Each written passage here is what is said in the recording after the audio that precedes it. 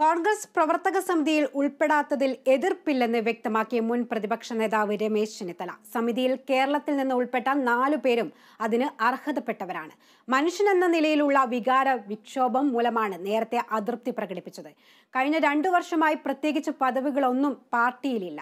പ്രതിപക്ഷ നേതാവ് സ്ഥാനത്തു നിന്ന് മാറിയ ശേഷം ഇരുപത്തിനാല് മണിക്കൂറും പാർട്ടിക്കു വേണ്ടിയും ജനങ്ങൾക്കു വേണ്ടിയും പ്രവർത്തിച്ചെന്നും നാളെയും ഒരു പദവി ഇല്ലെങ്കിലും ആ ശ്രമം തുടരുമെന്നും അദ്ദേഹം വാർത്താ സമ്മേളനത്തിൽ പറഞ്ഞു. കോൺഗ്രസ് പ്രവർത്തക സമിതിയുടെ രൂപീകരണ വേളയിൽ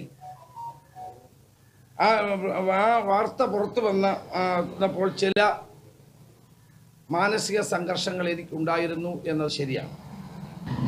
നിങ്ങൾക്കറിയാവുന്നതുപോലെ കഴിഞ്ഞ രണ്ട് വർഷമായി എനിക്ക് പ്രത്യേകിച്ച് പദവികളൊന്നും പാർട്ടിയിലില്ല പ്രതിപക്ഷ നേതാവ് സ്ഥാനത്ത് നിന്ന് മാറിയ ശേഷം ഇരുപത്തിനാല് മണിക്കൂറും പാർട്ടിക്ക് വേണ്ടിയും ജനങ്ങൾക്ക് വേണ്ടിയും ശക്തമായ പ്രവർത്തനങ്ങളുമായിട്ടാണ് ഞാൻ മുന്നോട്ട് പോയത്. ഈ ജനവിരുദ്ധ സർക്കാരിനെ തുറന്നു കാണിക്കാനും കേന്ദ്ര ഗവൺമെന്റിന്റെ തെറ്റുകൾക്കെതിരെ പോരാടാനും മറ്റാരേക്കാൾ കൂടുതൽ മുന്നിൽ നിന്ന് പ്രവർത്തിക്കാൻ ഞാൻ ശ്രമിച്ചിട്ടുണ്ട് എന്നത് ഒരു വസ്തുതയാണ്.